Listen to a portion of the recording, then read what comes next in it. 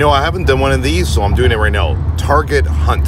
So I should have filmed one of the McFarlane toys where I found the Flash, but anyway, this is in Fort Worth, Texas right now, just a few minutes from the Dallas Cowboys Stadium. So you guys can see there, they got all the G.I. Joes. I know some of you already got it, but some of you don't if you want to see they've got them there. I caved and I got the Tiger Force Dusty. I had seen him at a few targets. I'm like, okay, you know what? I'm not going to be down in the States for a while, so I'm going to grab Tiger Force Dusty, so I did. There is the retro Blue Beetle McFarlane Toys. I was going to grab them too, but I'm like, oh, I'm going to blow too much money here. So anyway, there's a Blue Beetle. It looks pretty cool, actually. So there he is. Yeah, not bad. It's a gold label too. It looks really cool, actually. Um, yeah, so there it is. Blue Beetle.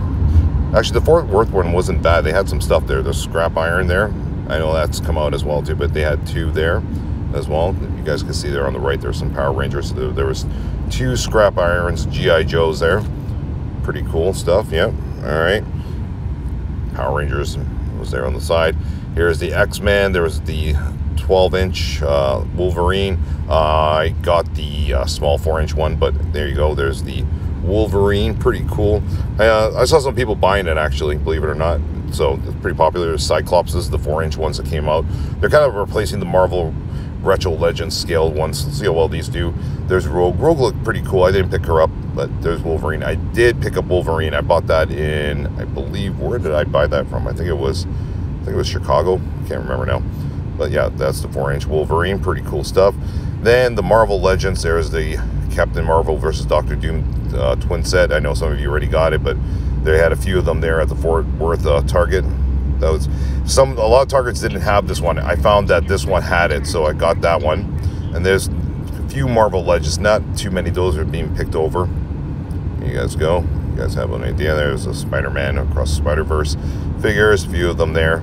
Uh, what else we got here? So just going there. There's Miles Morales, Gwen as well. Pretty cool stuff there.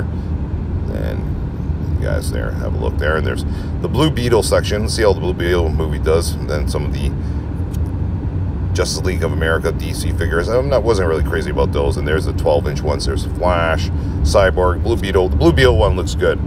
I was I was thinking of getting it. I'm like not bad. There's Aquaman as well. Yeah, there you go. More McFarlane there. Yes, I know that that that one came out a few months ago, but they had actually one there. I didn't realize how big it was.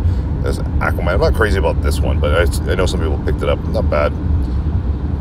All right pan over here. You can see there the Blue Beetle diorama. Uh, I was in um, Colorado Springs when they were pulling that one out. Uh, so it looks pretty good. More from the Blue Beetle movie you guys can see there.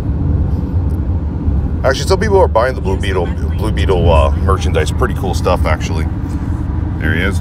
I mean, I got the Funko Pop uh, GameStop exclusive, so I'm pretty satisfied with that one. Anyways, that's the targeted hunt. Take care.